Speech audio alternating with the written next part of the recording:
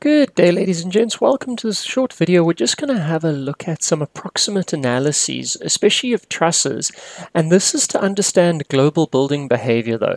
To help you understand bracing and general design and load rundowns, it's very useful if you can convert beams into trusses and trusses into beam just to understand how loads are passed through a structure. So Let's start off with a simple truss, and here we've got a 12 meter spanning truss with a uh, 10 kilonewton per meter uniformly distributed load on it, and let's assume all angles are 70, 78 uh, equal leg angles. So now, if we wanted to do an approximate analysis, think of this truss as a beam, where the top flange is the top chord, the bottom flange is the bottom chord, and then the holes are just where the web is, but then the web, which normally carries the shear, is simply the verticals and diagonals. So this analogy will generally work provided though that shear deformations and shear distortions aren't large. As the holes get bigger, shear deformations increase and the analogy becomes less accurate. But let's do the quick calcs. Let's treat this as a simply supported beam. So our maximum moment at midspan is omega L squared over 8, which is 180 kilonewton meters. And then the maximum, uh, well, the reaction uh, at each side, the left and right side, is just the total load divided by 2. So that's 60 kilonewtons on the left and right side. Now, if we take the depth of the truss as being 1 meter and force times distance, at the midspan we will have a bending moment of 180 kilonewton meters, depth 1 meters times force in top chord. So we can determine the approximate maximum force is in the um, top chord as 180 kilonewtons, um, just dividing the bending moment by the depth of the truss. So and then the diagonals and the verticals carry the shear forces while the top and bottom chords carry the bending as I was saying. So based on the shear force diagram, we can calculate the force in the final diagonal. So what you find there is that there is a, a, a 60 kilonewton reaction on the end. And then if we break up that UDL into a bunch of point loads, the, the end point load's about 5, and then we convert this to being at a diagonal, so multiply it by square root of 2, we end up with 70, roughly 78 kilonewtons. So very simple calcs. But what about deflections? Let's see how rough and ready we can get with our deflections. Now let's think of this as a beam once again, and all the material that uh, is resisting bendings in the top and bottom flange.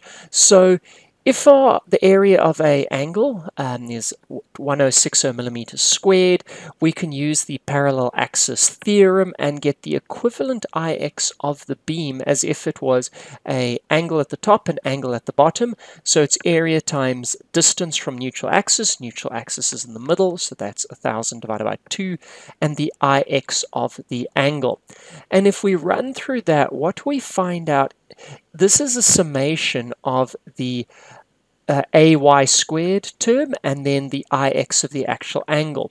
And what you'll see here is that the ix is actually very low, so we can pretty much take the ay squared term, and so we get to an equivalent second moment of area. And so let's now calculate the deflection of the beam. A simply supported beam is the deflection as shown here. Now, if we plug in all the numbers, we end up with a deflection of about 25, 26 millimeters. But let's compare these to a detailed analysis. So let's say we ran a Prokon analysis of it. What we find is that the maximum force top chord, give or take the same of 180 kilonewtons. Force in diagonals, more or less the same. And then deflection at midspan, also approximately the same. So you can see we had a reasonable approximation and that gave us a quite quick rough and ready calc. So we could uh, turn our truss into a beam, get some forces and analyze it this way.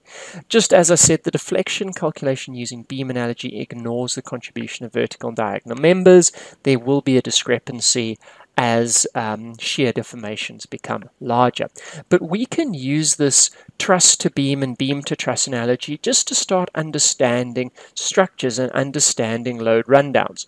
For instance, here this can help us now to understand bigger buildings such as warehouses and multi-story buildings. We're going to see a warehouse here. See how the, the roof ma um, matches to some extent the shape of the bending moment diagram.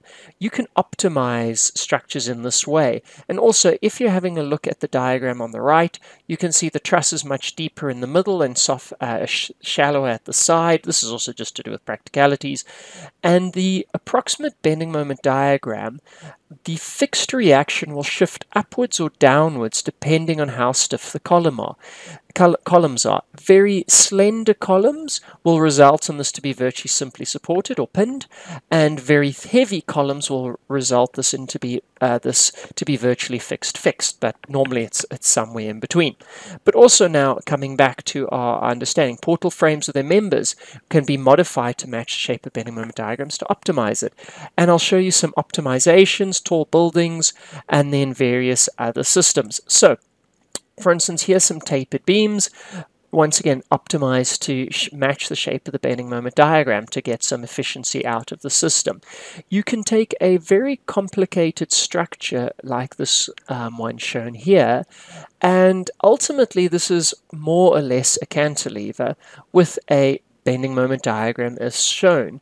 You would need to do lots of detailed analyses on this sort of structure, but at least this can give you an estimate of uh, the type of forces you'd experience for preliminary design. So you can start seeing what sort of foundations and basement size and the likes you would need to get the forces to work and then carry out more and more refined analyses as you go. But that should give yeah, a quick rough and ready way to get sort of preliminary forces.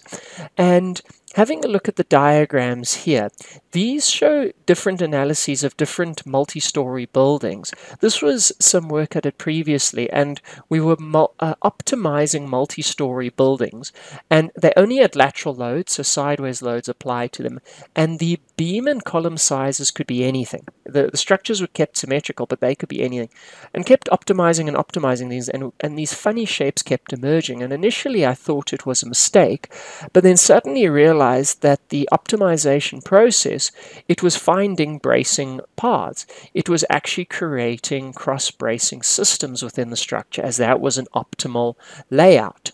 And uh, yeah, so the structures effectively braced themselves. And so you can even uh, apply those principles to bigger structures, more complicated structures. You can see conceptual designs of the likes of the Shard and other buildings up top right.